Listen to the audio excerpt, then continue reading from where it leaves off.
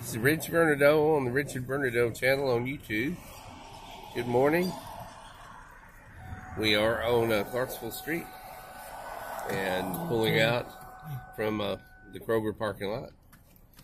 You can see over to the right, Williamsburg Shopping Center. Smith Carpets there. Traffic is light. There's the best dry cleaners and laundry. And then we're going to be passing right here by a piece of cake.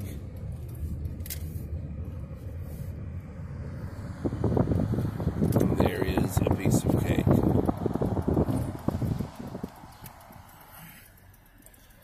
Notice the drive through there, a piece of cake. Here's the turn off of 12th Street that runs between Clarksville and Lamar. Some of the housing that you see there on, on 12.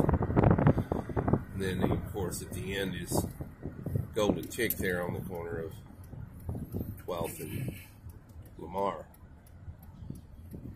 Across from that, a car title loan place.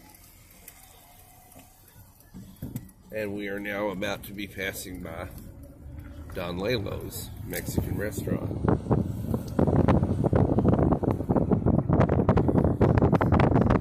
Shop.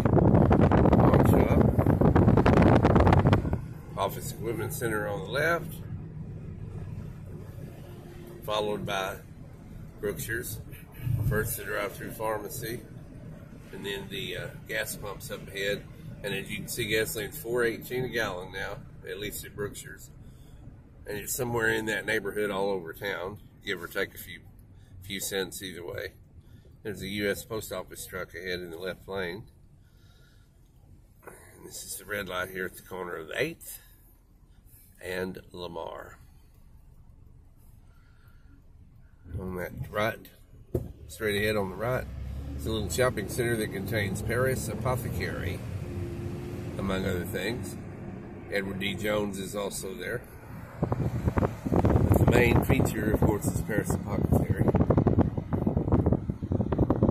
Uh, Edward R. Jones, I should say. Is uh, various places. Calvary Shop, Bobby Smallwood Construction, and of course, Liberty. Liberty Bank,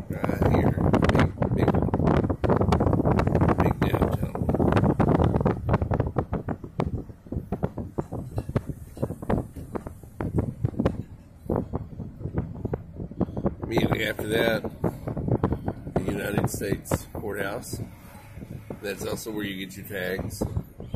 Once upon a time, that was the post office for decades before they built the new one. And of course, that historic Grand Theater.